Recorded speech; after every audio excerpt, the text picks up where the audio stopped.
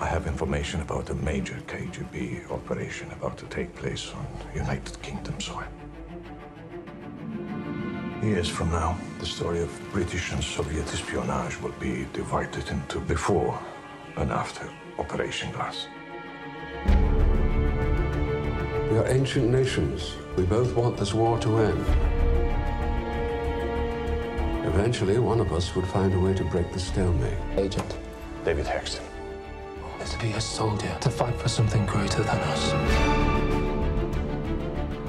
We have a mole. You got a thing going with Odin, haven't you?